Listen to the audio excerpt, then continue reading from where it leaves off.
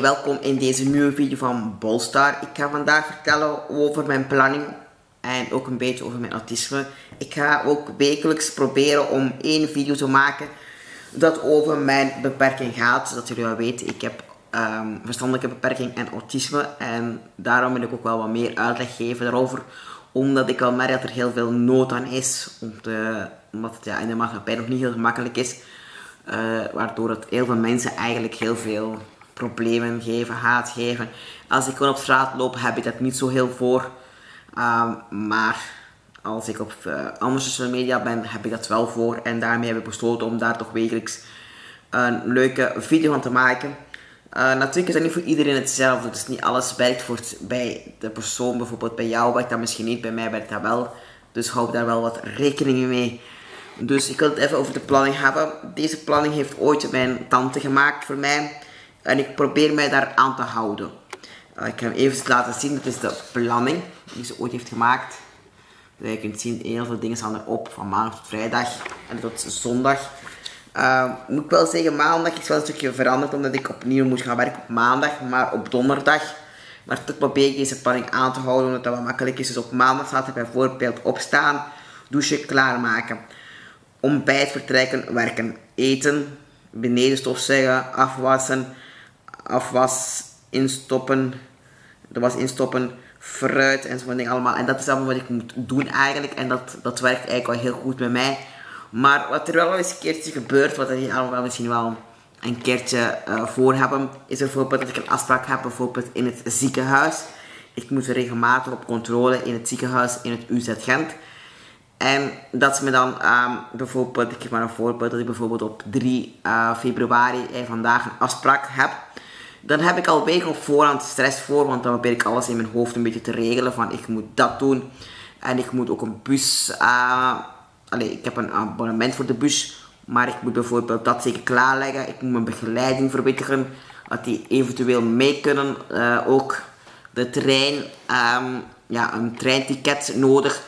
Uh, daar ben ik allemaal mee bezig, eigenlijk week op voorhand, voor dat zeker die dag goed te laten verlopen. Ik ben ook al tien keer te gaan kijken van Wanneer komt de trein? Wanneer komt de trein? En nog eens wanneer komt de trein? Maar pak nu dat dat niet doorgaat door bijvoorbeeld de laatste tijd, uh, je weet het allemaal wel, corona. Dan is het wel zo uh, een beetje moeilijker. Want dan heb ik wel, uh, ja, dan heb je voor niet gestrest. En dan moet je opnieuw weer heel in je hoofd hebben van het gaat niet door. En je hebt dan voor niet gestrest. En dat is wel soms wel heel vervelend aan een planning. natuurlijk dat je dan ja, een beetje ja, in je hoofd een error krijgt, waardoor het een beetje moeilijker loopt. Uh, er zijn ook voorbeelden, bijvoorbeeld als je broer belt en je zegt, kijk, om bijvoorbeeld om uh, half vijf van, ja, jij moet nu om Enzo, want we hebben een platte band, anders redden we het niet. Ja, dan is ook heel je planning overhoop, want je weet niet meer wanneer je moet gaan eten. Uh, koken loopt ook natuurlijk uit de hand en dan is het ook even van, shit, hoe moet ik dit nu oplossen? En dan is terug weer in je hoofd, alles toch proberen, dat je toch op hetzelfde uur kunt gaan slapen. En dat is wel heel moeilijk eigenlijk. En dat is de laatste tijd ook wel heel moeilijk omdat ja, het verandert constant. En dat is meestal omdat de gewone mensen eh, die dat niet hebben, er niet altijd rekening mee houden. En dat kan ook niet altijd. Uh, je kunt niet vragen uh, aan sommige mensen van kijk, uh, dit of dat. Dus dat is heel moeilijk. De vrienden daarentegen, ja, die kunnen er wel een stukje meer rekening mee houden met heel die planning. Maar ja, dat is logisch. Dat is altijd wel een beetje zoeken. Ook als je naar school bent geweest, je zit iets rapper thuis of je wat later thuis, je op tijd thuis is er geen enkel probleem. Maar als het op school uitgelopen is, ja, dan loopt het ook in je volse planning en dan heb je ook weer error in je hoofd. En dan, ja, dan begin je wel zo um, boos te worden in je hoofd, want ik heb geen filter uh, die jullie wel helpen. En dat maakt het een klein beetje moeilijk en dan ben je frustreerd voor heel de dag, want dan, ja, dan loopt alles fout en kun je ook niet ontspannen. En dan is het meestal ook de vrienden die het dan ook ontgelden, want ja, hier loopt niemand anders rond. Dus dan ben je je vrienden, die hebben het dan ook gedaan. En dan voel je echt de hele dag niet meer slecht. de hele dag slecht. En dan is dat natuurlijk ook niet zo heel leuk. Uh, maar het is wel leuk natuurlijk deze uh, bestaat. Um, en ook blij dat mijn tante, die, jullie kennen haar wel, Silke Loco in de Coco. Hè, ze misschien wel gehoord hebben ergens, dat gemaakt heeft. Ik ben er echt nog altijd heel fier op, op deze.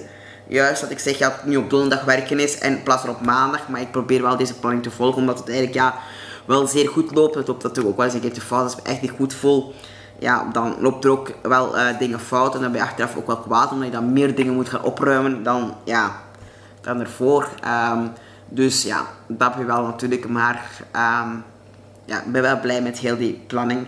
Ook op zaterdag uh, staan er ook wel wat taakjes op. Het belangrijkste is natuurlijk ook heel veel wandelen. Op tijd gaan slapen is heel belangrijk um, om rust te krijgen in je hoofd. dus ja, dat is een beetje hoe de taken eigenlijk allemaal lopen. En ik hoop dat ik daardoor jullie wel een beetje geïnspireerd heb. Uh, moest er daar nog vragen rond zijn, of jullie hebben ideetjes om te maken, laat even hier weten hieronder in de comments. Er komen nog video's over autisme. Er komen nog heel veel video's over autisme. Want ik denk wel dat dat wel een belangrijk punt is. Want er heel veel mensen dat ook wel hebben. En ik merk ook wel dat, dat het wel nood aan is om daar dingen over te vertellen. Ook voor mezelf. Maar ook uh, om een beetje andere content te maken. Dat wil niet zeggen dat de dagelijkse vlogs verdwijnen. Maar het is niet gemakkelijk om dagelijkse vlogs te maken. Vroeger had ik mijn moeder daarin. Uh, deden we al heel veel dingen samen. Nu heb ik Enzo die af en toe wel eens in beeld komt. Uh, maar het is niet gemakkelijk eigenlijk om dagelijkse video's te toveren. Maar ik hoop dat deze video een beetje kon inspireren. En ik blijf het zeggen, als je vragen hebt, stel ze gerust. En dan ga ik ze proberen te beantwoorden in de volgende video. Neem je dan mee of ik maak er een aparte video over. Dus uh, laat gerust weten. En ehm, vond jullie dit een leuke video? Zeg een duim omhoog. Vergeet niet te abonneren. En dan komt er binnenkort een nieuwe video aan. Dat kan morgen zijn of het kan overmorgen zijn. Maar er komt een nieuwe video aan. Tot ziens.